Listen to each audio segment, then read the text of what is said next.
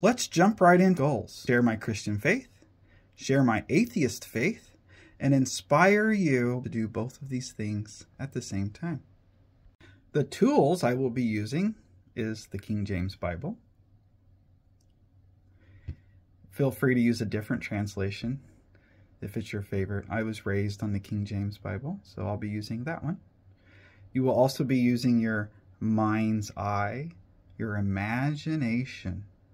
I'm going to be asking you to leave your body, not literally, but in your mind's eye, and float out with me to different times and different places.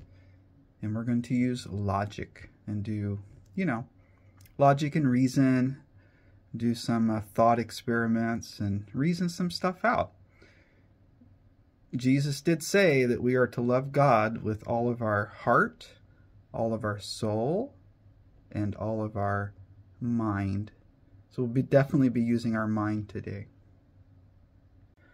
A good place to start is usually the beginning. In the beginning, God made the heaven and the earth. For this video, however, we're going to go before the beginning, or really outside of time, or outside of the beginning. Because it says, in the beginning, God created. One of the things that God created in the beginning was time. So I'm remember I'm asking you to float out with me in your mind's eye. And we're going to go visit God before or outside of time, before anything else existed. Just God. So come out with me in your mind's eye to when it was just God we can see in this Bible verse that God creates the soul before any physical part of a man. I don't think the Bible says if God makes souls like one instant before he places them into a new embryo, or if God made souls before he made anything and then places them um, in the human at the right time? Don't know. But it doesn't matter for this thought experiment because remember, God's outside of time, and you can see by this verse that he already had made all the plans for this person before he even started to make his physical body. So for our thought experiment, we're going to float outside with God prior to when God made anything physical. And at this instant, he's made all of the souls that will ever be. And they are those souls are with God. They're nowhere else because there's nowhere else for them to be because there's nothing else yet. This verse does beg the question, though. If God had already planned out this prophet's entire life uh, before the prophet had any physical thing about him at all, and if God knew this soul before he put the soul into the physical body that didn't exist yet. Did that person have free will?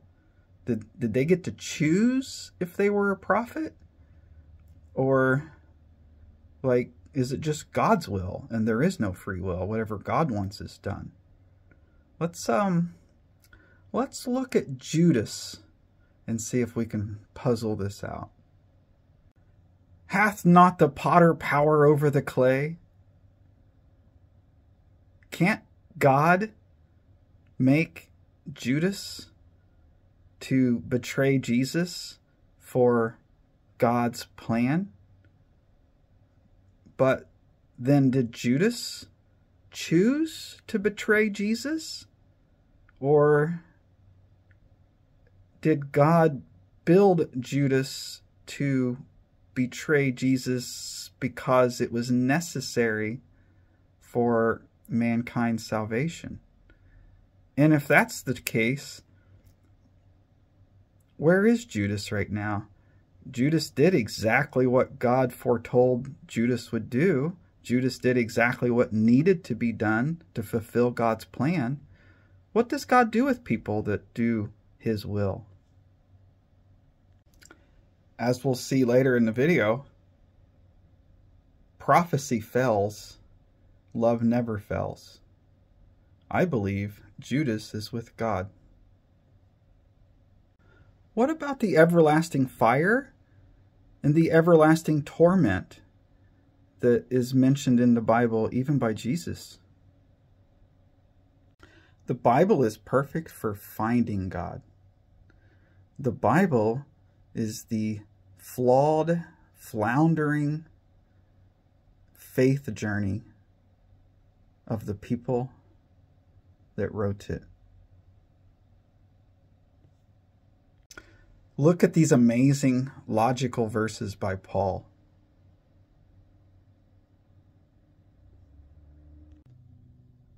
For Whenever there shall be prophecies, they for they shall fail. For we prophesy in part, we see in part. We see God through a glass darkly. You know, because we are flawed, finite humans that can't understand infinity. We're stuck in three dimensions and we travel in a fourth. God is like a seven dimension being. He, he he's not bothered by these types of constraints. And we can't comprehend seven dimensions. He's really infinite dimensions, but you know, I say seven because it's a fun number. When we meet God face to face, that is the first time that we will know Him completely the way that he knows, the way that he has always known us completely. But we don't get to know God completely while we're finite, three dimensional, limited beings. We're not capable of it. It will not be until we become perfect beings in heaven that we can understand perfection when we see God face to face. So for now, I perhaps you have been told that the Bible is the perfect, unflawed Word of God. Right here, I just showed you a verse that says, prophecy shall fail. The only thing that doesn't fail is God's love. So how can we know what God wants? I'm going to tell you. The Bible records a attorney trying to trip Jesus up and asking him, What's the greatest commandment? And Jesus responds that it's to love God with all your heart, your soul, and your mind. But then he adds he adds a second thing that the lawyer didn't ask for. And he says that this second thing is like unto it. It's the same. That's what it means to me. It is like unto it. And that is to just love your neighbor as yourself. And like if you think about the Bible and what we've already talked about, prophecy failing, blah, blah, blah, you look at some of the stuff in the Old Testament, don't eat bacon, wear your hair a certain way, wear certain clothes, do this, do that, all these crazy rules that don't make sense. They, it's okay. They don't need to make sense. None of it matters. Don't worry about tradition. Don't worry about what your preacher tells you. I have shown you scriptures that you can read them yourself. Go back and read them again. I have shown you scriptures that show that love is the only thing that matters. And you remember you're supposed to use your mind.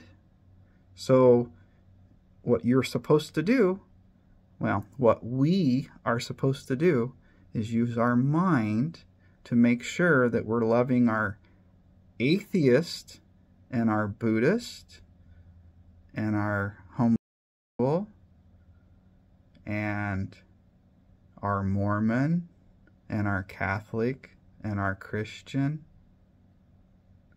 etc., etc., etc., neighbor as ourself.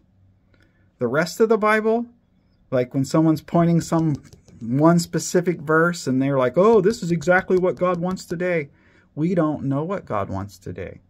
Prophecy is only part of what God wants. I've already showed you the scripture. Prophecy will fail. Only God's love won't fail. Plus, God is in complete control of everything. So God's will is going to be done, whether you do it or not. Doesn't matter. And look at that amazing last line. On these two commands hang all the law and the prophets. Everything. Every single thing that matters hangs on these two things. And remember, we don't really know exactly what God wants because the Bible's flawed. So we can figure out what God wants if we can figure out how to love our neighbor. That is the only requirement. Don't get tangled up with ministers or Christians that try to tell you there's just one specific way to be saved, and then they want to show you a specific verse that proves that their way is the only way. This is the part where I said that the atheists are right. The atheist, the atheists are right in that the God that's demonstrated in the Bible can't be as he's portrayed because the Bible is self contradictory. So, and atheists prove free will because if there if everyone willingly believed in God, then you might question if we really have free will.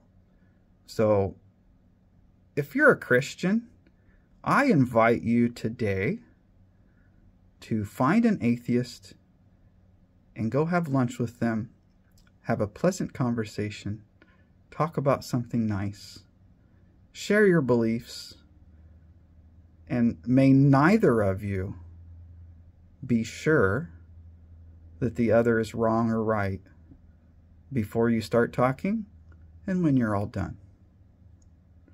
That that would be that's what I want. I want Christians and atheists to sit together peacefully. Do you want to impress Jesus with your faith? Check out this woman. This is one of my favorite Bible stories. I, I was raised that I wasn't allowed to ask questions. It was called back talking. but check out this verse. This woman basically back talks Jesus. You can read it for yourself. Essentially, like, well, she was a Gentile, and she was like, Jesus, Jesus, save my baby, save my baby. And Jesus, like, totally ignored her because he's like, oh, I'm only here to preach to the Jews. You're not the person I'm supposed to preach to. Go away. So then the woman's like, Jesus, Jesus, save my baby, my baby. And um, Jesus' disciples like, oh my gosh, will you make that woman shut up? But she persisted. And like, look at the verse. It ends up saying that Jesus marveled at her faith. Think about that. Like, Jesus had 12 disciples. They spent years with him and seen all of his miracles. They're supposed to be the people he chose to believe in him. Here's some woman that's from a completely different faith, that's outside of the religion. She's not even supposed to be part of that church right now.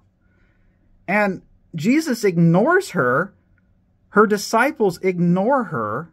She persists. And then Jesus is like, dang, woman, you have faith that's cray cray. And then he saves her daughter, even though that wasn't what he had planned to do.